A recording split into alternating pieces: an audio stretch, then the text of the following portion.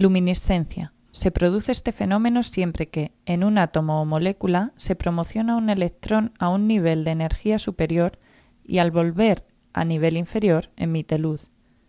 La luminiscencia se puede producir por acción de los rayos ultravioletas, como se va a ver en estos ejemplos. Aquí vemos que tienen luminiscencia los billetes de la ONCE, pero podrían ser también billetes de banco. La luminiscencia es lo que nos permite saber si un billete es verdadero o falso. Este tipo de marca fluorescente que aparece en los billetes es de patente española. También podemos ver que la disolución alcohólica de clorofila de color verde tiene luminiscencia roja. La disolución de la cáscara de los huevos de color rojizo tiene también luminiscencia roja, aunque no se aprecia demasiado.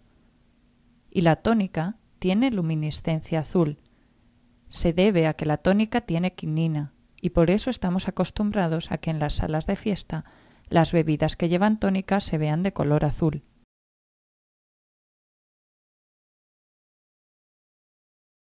La luminiscencia puede ser producida por una reacción química. Vamos a hacer la reacción del luminol con agua oxigenada, dejando caer esta sustancia por un refrigerante de bolas para que se vea mejor.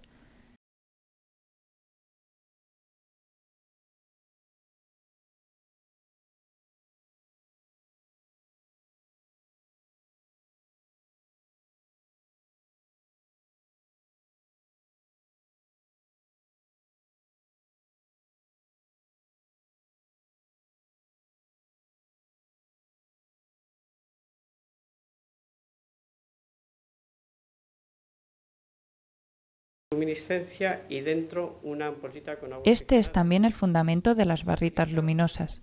Llevan una sustancia que se llama cialumen y dentro una ampollita con agua oxigenada. Se activa la barrita doblándola ligeramente o presionándola para que se rompa la ampolla interior y entonces se produzca la luz.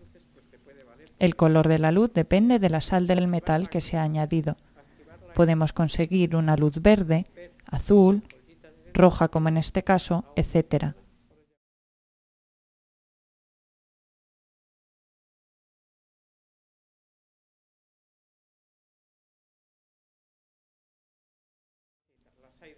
Suelen durar unas seis horas.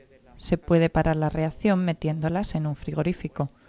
Actualmente se utilizan en los barcos para hacer señales y últimamente en Estados Unidos las llevan en los coches en lugar de linterna para emergencias señales para poderse